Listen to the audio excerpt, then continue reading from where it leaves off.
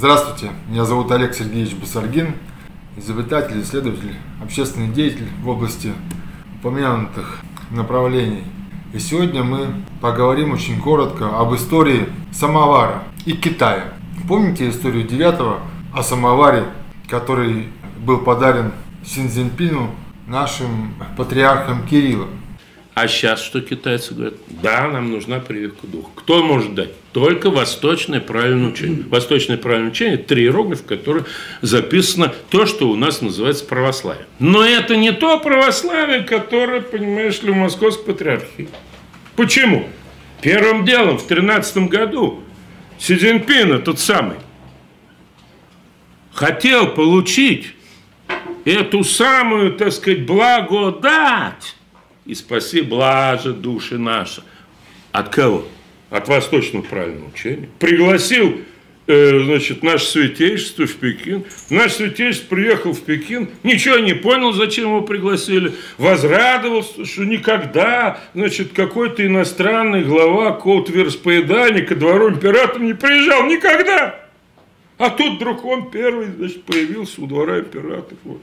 Так возгордился. Папа, папу, ты папу не звали. И отпил. Ну, сейчас, может, папа приедет. А я приехал.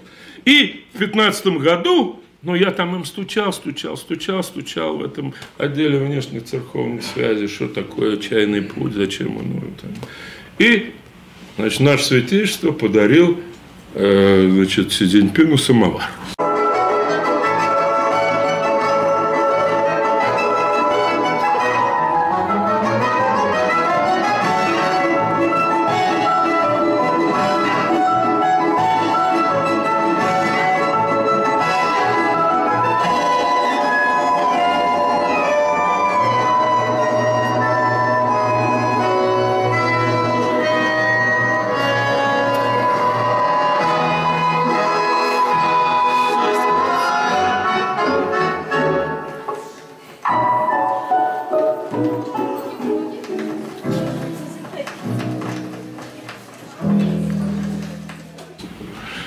После... А, а нужно было сакральное действие с сакральным предметом.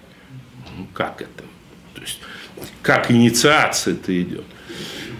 С миром невидимым. Как открываются эти, так сказать, каналы. Ну, и все, китайцы поставили крест.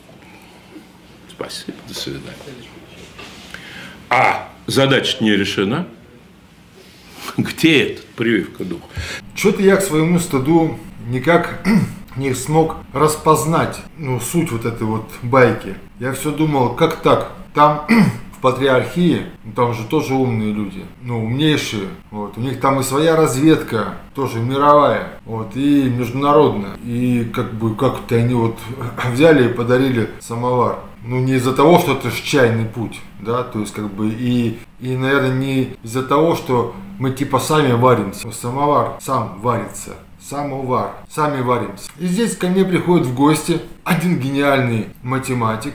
Ну, ко мне очень редко приходят в гости. Я ну, просто не зову людей. Но некоторых Некоторые приходят, они очень редко приходят, но приходят, бывает. Вот ко мне приходит в гости один гениальный математик. Ну, они трудятся в IT-отрасли. Это как раз представитель тех людей, которые вот берут власть в свои руки посредством вот этого электронного управления обществом. То есть они пишут коды, они являются авторами этих кодов. То есть они могут переписать код так, так настроить, так настроить. Ну, там очень много всего. И мы что-то слово за слово с ним сидим и говорим о Китае, и, и вдруг всплывает эта история девятого про, про самовар.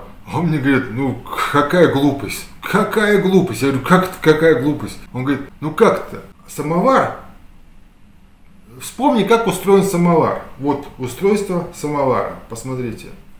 Он говорит, ты говорит, ничего не видишь в этом устройстве самовара. Тебе, говорит, ничего здесь не напоминает. Смотри, вот вертикальная основа. И вокруг такая окружность, ну, полукруги. Что это такое? Это ферт. Это буква ферт. И он мне показывает самовар. Мы, мы залезаем в интернет, мне показывает самовар, устройство самовара. И значение этого самовара, это буквица ферт. Он говорит, у них просто не было, ну, как бы вот сферали не было на руках, ну, там. Вот. А вот самовар был. И вот самовар это буква ферт. Это и есть фераль. Ферт, он мой. Ну, почитайте, что означает ферт. Вот подтверждение вот этого вот объяснения этому явлению я нашел в интернете. Зайдите в интернет, посмотрите. Есть люди о самоварах пишут прям, что ферт, сейчас я вам прям покажу одну. Стоит ферт подбоченившись, подбоченившись, так, подбоченившись, под боки, ферт, вот, вот он, ферт. И самовар тоже, это ж ручки, вот эти вот ручки. И в то же время, на что еще похож? На кубок похож, ферт. И самовар. Так что все правильно Си подарили. Самовар, ферт подарили. Зело, как непознанное, неизведанное, нераскрытое, потаенное, сокровенное. Если мы берем современную оккультную технологию, то это как раз мистическое, потому что мистикос с греческого это тайна, таинственность. Поэтому здесь присутствует буквица зело. Причем, что интересно, если мы хлопнем вот так, то фита у нас будет вот в такой вот форме.